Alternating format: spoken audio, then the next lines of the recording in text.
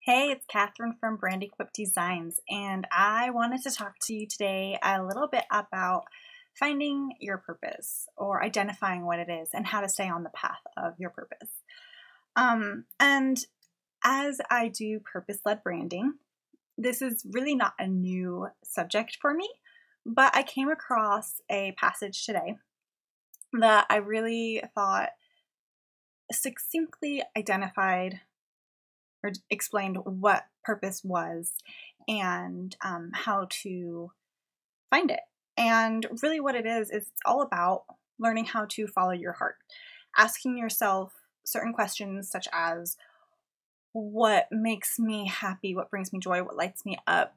Um, and rather than trying to think of the answer, you hear the answer in your heart. And that might seem obvious to you, um, but a lot of times it's harder to do than we think because in order to hear with our heart, we have to quiet our mind. And it's and, and that is that is hard to do. And we need to learn how to listen.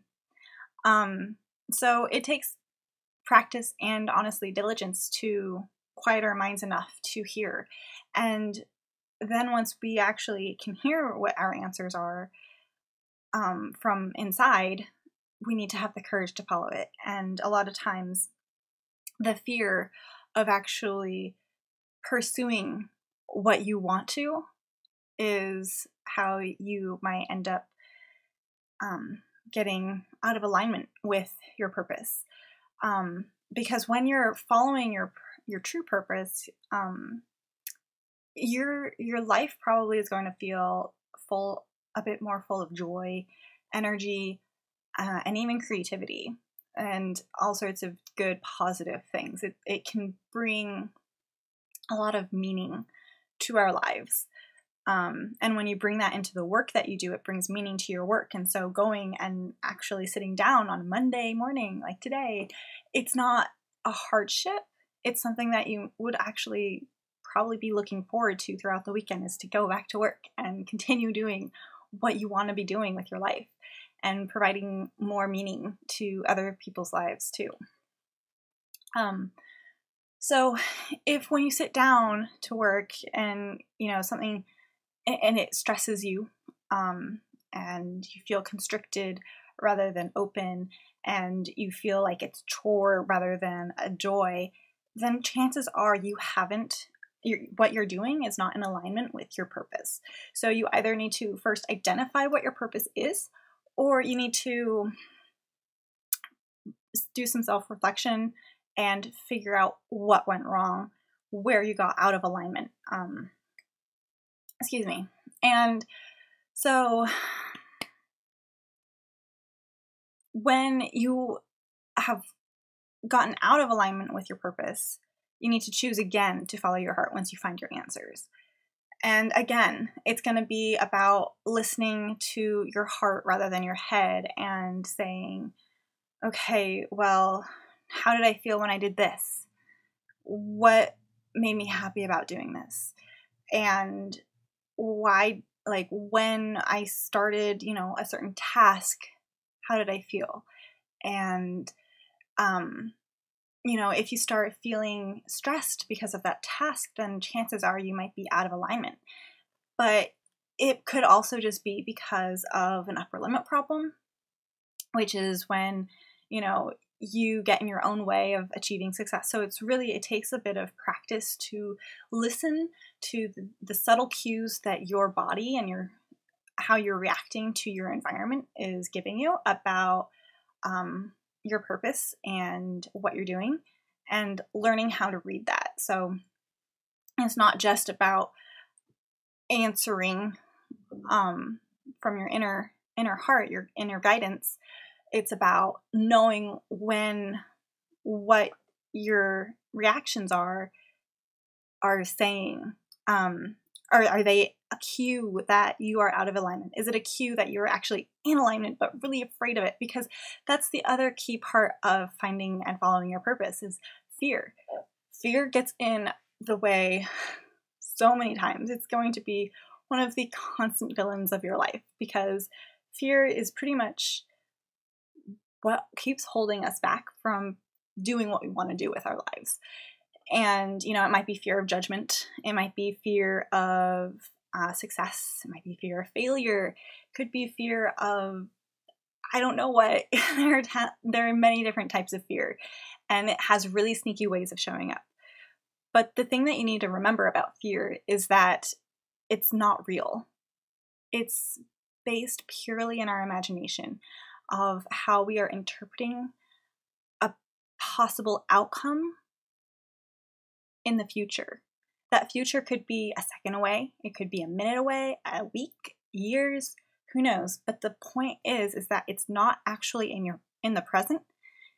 It's based off of what you think might happen in the future.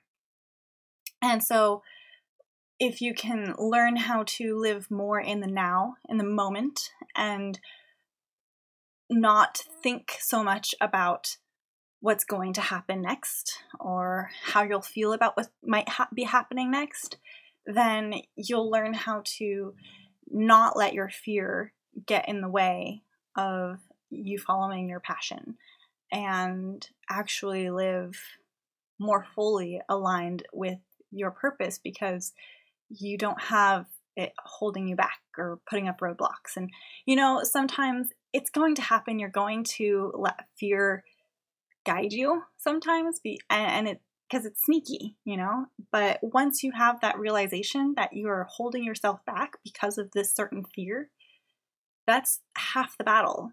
The next part is just having the courage to say, in spite of feeling this, I'm going to do what I want. um, so, when it comes to finding your purpose, whether it's for the first time or refinding it because it's gotten lost along the way, um, you need to ask yourself questions like what makes me happy? Um, what lights me up? How do I want to help people? You know, those kinds of things. And rather than listening and with logic um, and thinking about what would probably make the most sense or what you think makes you happy, just learn how to quiet that for a minute or a day.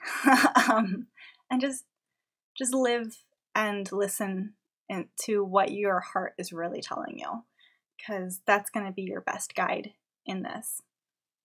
And i hope that helps you in your journey of finding your purpose. And when you build a business based off of your purpose and a brand based off of your purpose then the work that you're doing isn't isn't going to hold you down. You know, you're going to have the courage to face your fears more often in pursuit of fulfilling your purpose because it's something that you deeply care about.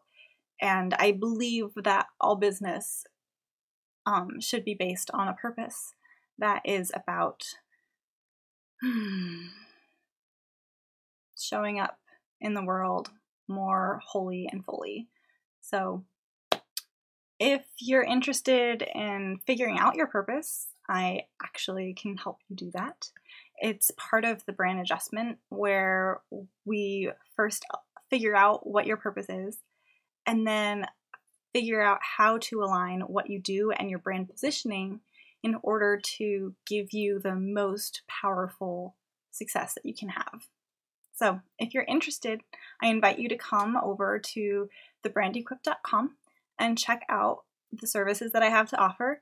Um, that service in particular is the brand adjustment, and it's what I need to do with all of my clients before I will build out a brand wardrobe because the purpose and the positioning and the strategy is what comes first. So, I hope that was helpful. And I will talk to you guys later, probably tomorrow.